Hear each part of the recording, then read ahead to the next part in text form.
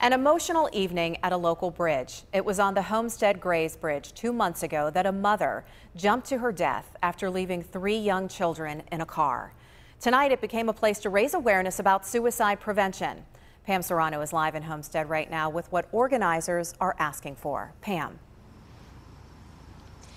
Yeah, Kim, those affected by suicide say Pittsburgh bridges should have prevention fences, especially tall ones here, like the Homestead Grays Bridge. And now Homestead police say they they respond to a lot of suicide calls here and a lot of suicide attempts. And they also say that those prevention fences would help a lot. Prevention specialists say any deterrent at all can save lives. We need to open up and let them know we're here. We're here to talk. And that's exactly what organizers of this suicide awareness event are working so hard to do.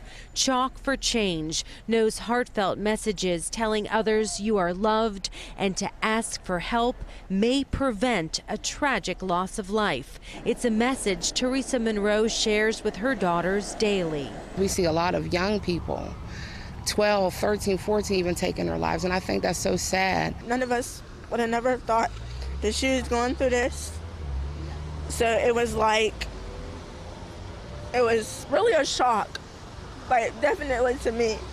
And I, really, I would have never thought that my sister would have killed herself.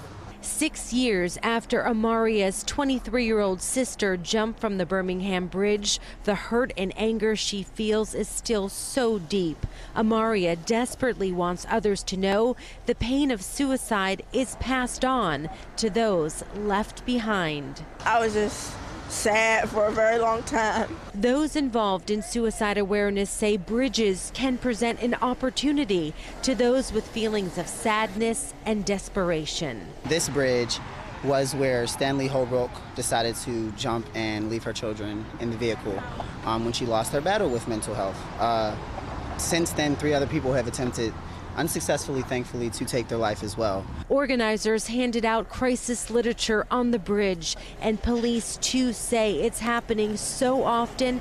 They are also urging leaders to erect suicide barriers here. There's nothing here that says, hey, we're here for you. There's no support system in place here at this bridge specifically. Now, the officer that stopped to talk to organizers tonight was here the night that Stanley Holbrook jumped from this bridge. He says he has been here many times before and does agree that those fences could be part of an intervention process. Now, Chalk for Change is available 24 7. We'll have a link to them on KDK.com. We're live at the Homestead Grays Bridge tonight. Pam Surano, KDKA News.